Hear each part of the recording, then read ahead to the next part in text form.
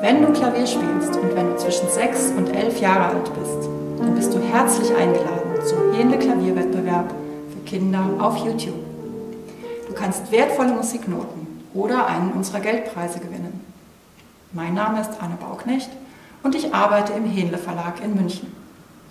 Tausende von Kindern haben schon einmal oder sogar mehrfach teilgenommen, deshalb kennst du vielleicht schon die Teilnahmebedingungen und Regeln.